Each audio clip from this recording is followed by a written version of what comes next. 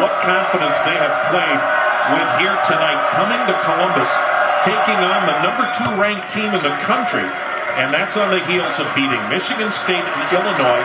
This is game four of five straight games for Penn State against top 25 clubs, and they look like a club that knows how to win.